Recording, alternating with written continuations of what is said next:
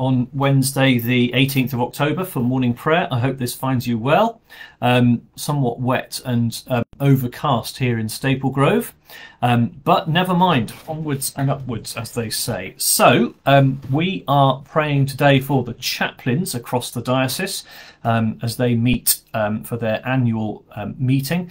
Uh, many many different chaplains of all different kinds um, not not just here in uh, not least just here in Taunton actually um, as well as um, further afield too. So we'll be pleased to pray for them um, as well as clearly lots of things across the world and um, no doubt in our own lives too so let's turn to our order of um, service. Um, and today we're remembering Luke, the evangelist, who of course wrote Luke's Gospel and the book of Acts.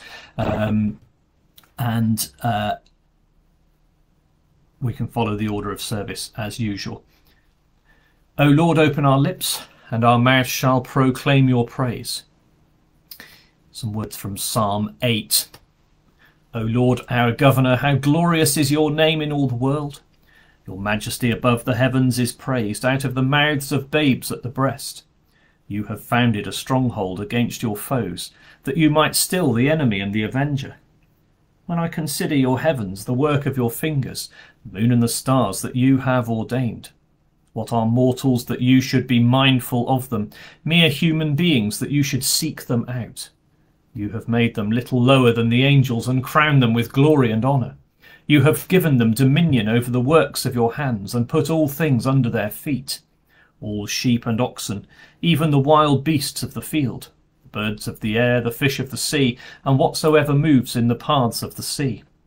O Lord our Governor, how glorious is your name in all the world.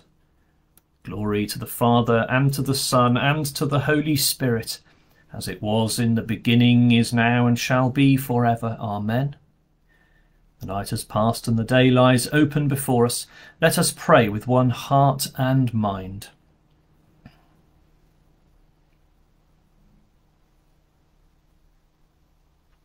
And as we rejoice in the gift of this new day, so may the light of your presence, O God, set our hearts on fire with love for you, now and forever.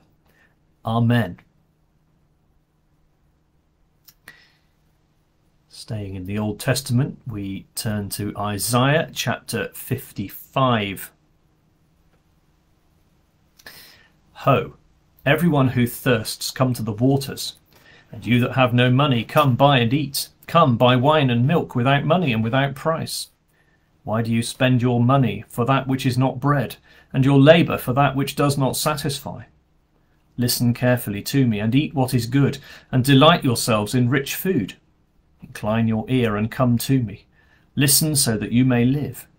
I will make with you an everlasting covenant, my steadfast, sure love for David.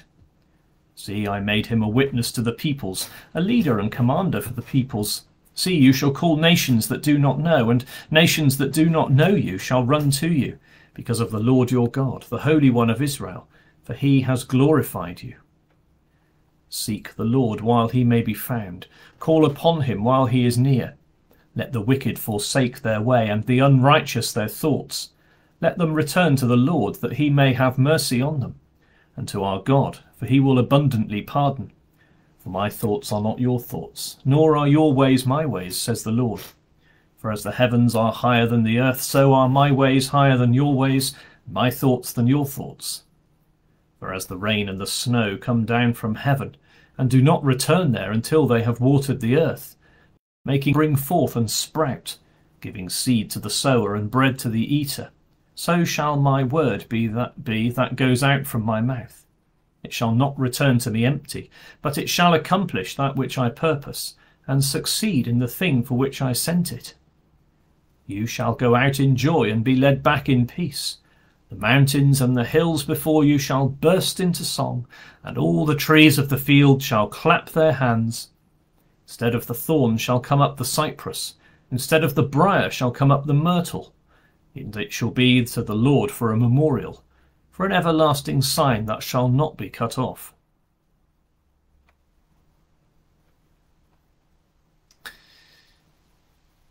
Turning to the New Testament, not surprisingly today, as we remember Luke the Evangelist, we have um, a chunk, in fact, the first four verses of Luke's Gospel.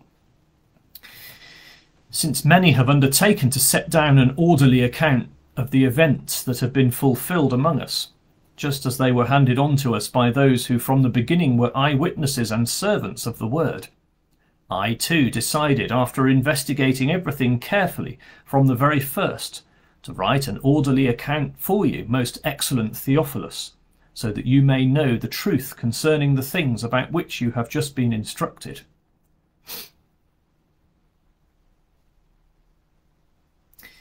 traditionally the kind of introduction to Luke's Gospel. Much debate over um, who he's writing to, as he writes the most excellent Theophilus. The name Theophilus itself means God lover. So whether he was writing to an individual called uh, Theophilus, um, or it's a kind of a letter to all people who love God, um, then we don't know. There's much debate, but um, Either way, uh, that's the introduction to Luke's Gospel. Lord, you will be with me. Lord, you will guide me with your counsel and afterwards receive me with glory. For I am always with you. You hold me by my right hand and afterwards receive me with glory. Glory to the Father and to the Son and to the Holy Spirit. Lord, you will guide me with your counsel and afterwards receive me with glory. So, Lord, Heavenly Father, we thank you for your word. We thank you for Luke, for his gospel, his willingness to write and set down the accounts of Jesus' life, his ministry, his death, his resurrection. We thank you for the book of Acts, also written by Luke, which tells the story of the early church. Lord, we thank you for the instruction, the encouragement and inspiration that his writing has been to so many people down the years and continues to be so. We pray for our own hearts to continue to be guided by your scriptures. Lord, in your mercy, hear our prayer.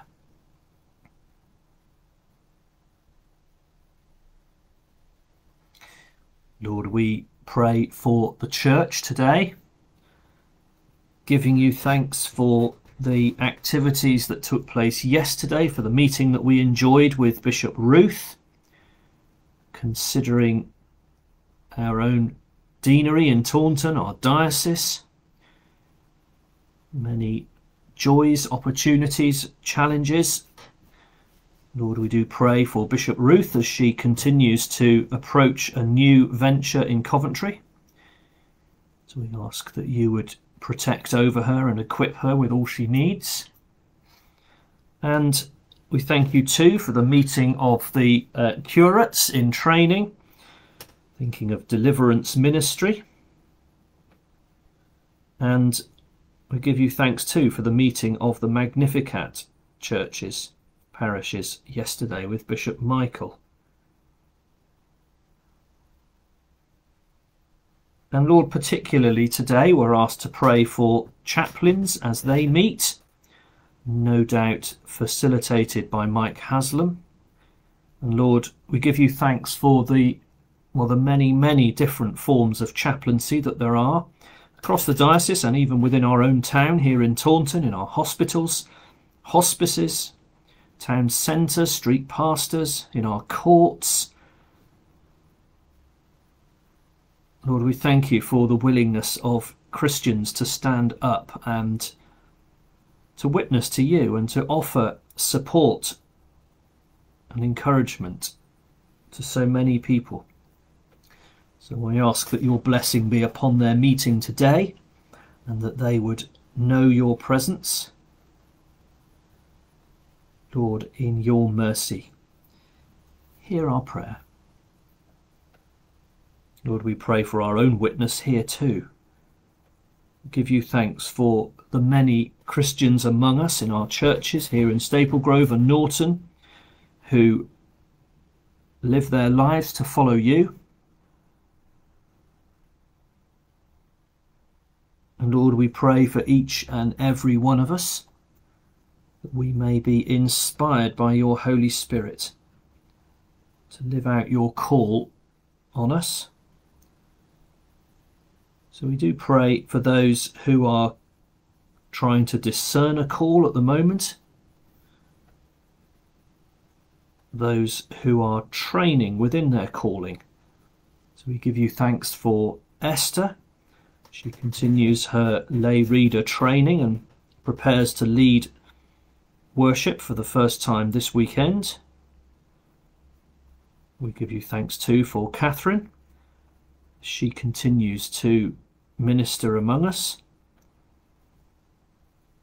that she would be blessed in her role. And we pray for all of us, Lord, that you would continue to guide us with the shining light of your presence.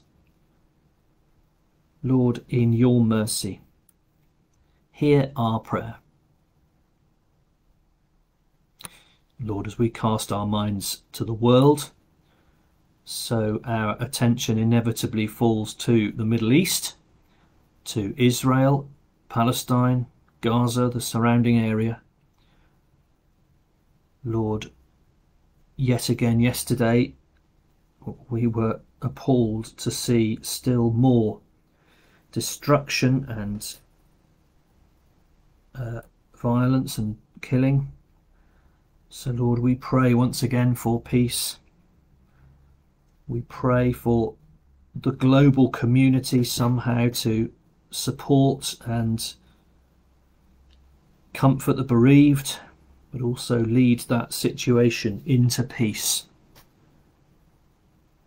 So, Lord, we do ask through your Holy Spirit, through your power, that that would indeed be the case. And we don't forget those other areas of the world where there is violence and warfare. Following the attacks in Brussels the, uh, on uh, Monday night. Obviously, the continuing war in Ukraine, Russia, and many other places, Lord. So we just echo that prayer for peace. Lord, in your mercy, hear our prayer.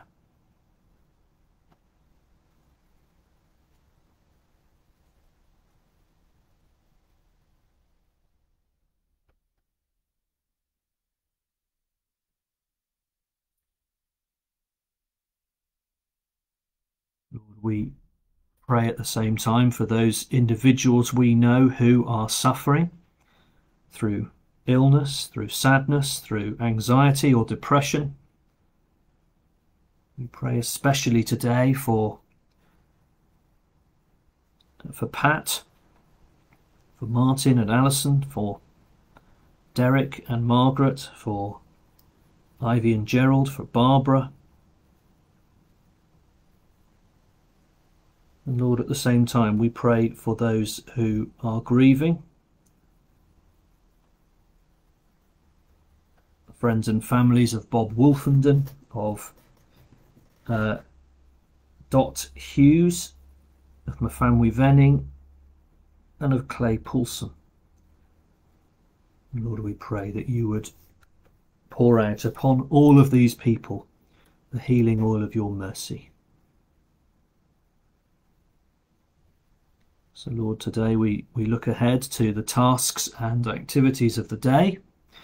Lord, I thank you for the Staplegrove Trust, the annual meeting this evening, and for the donations that they receive, uh, the charity which seeks to support those in Staplegrove who are finding themselves in poverty with particular need. We thank you, Lord, not just for the, the generous donations received, but also for the ways in which uh, many people have benefited from that in the last year and more. So, Lord, we do pray for uh, Christine as she chairs us in that and for the ongoing work undertaken. Open our eyes and ears to see and meet the need that we have around us. Lord, in your mercy. Hear our prayer. So, Almighty God, you called Luke the physician, whose praise is in the gospel, to be an evangelist and physician of the soul. By the grace of the Spirit and through the wholesome medicine of the gospel, give your church the same love and power to heal, through Jesus Christ, your Son, our Lord. Amen. And as Jesus himself has taught us, so we pray, Our Father in heaven, hallowed be your name. Your kingdom come, your will be done, on earth as in heaven. Give us today our daily bread. Forgive us our sins as we forgive those who sin against us. Lead us not into temptation, but deliver us from evil. For the kingdom, the power, and the glory are yours, now and for ever. Amen.